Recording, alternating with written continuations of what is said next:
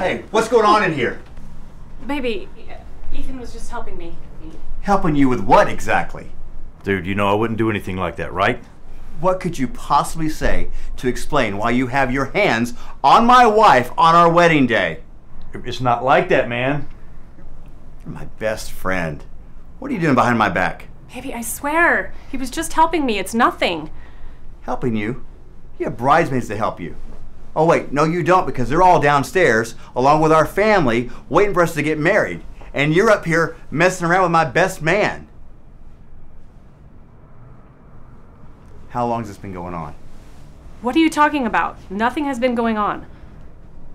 You can't even tell me the truth. Lucas, can we just talk about this after the wedding? Wedding?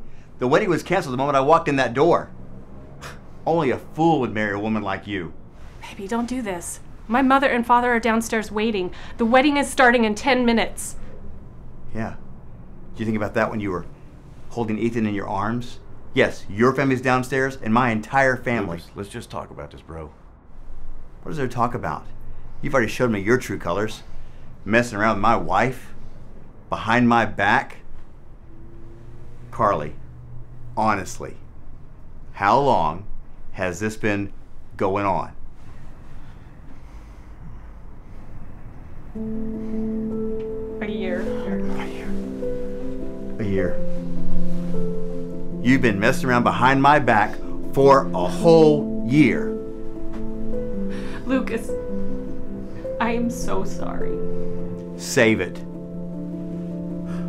Is this how you treat your friends? And I'm sorry. I didn't mean for any of this to happen. Messing around with a man's wife is off limits, period. And for a whole year, you call it a mistake? What kind of fool do you think I am? You two should marry each other. Baby, no! What's going on in here? Just caught your daughter with my best man. What? What is he talking about? Daddy, it was a mistake. A mistake? On your wedding day? Your mother and I drove all the way from Ohio to attend your wedding. This is going to give her a heart attack when I tell her. Lucas, we need to talk, please. We have nothing to talk about. This is the saddest day of my life. But the happiest thing is that I found out that you're a snake in the grass before we got married.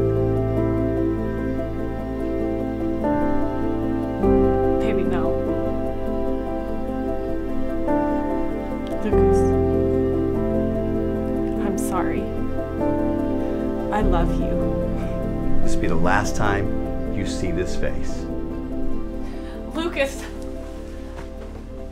You are a despicable human being. How can you do this to your best friend? The moral of the story is an affair is a one way street that is bound to hurt your partner.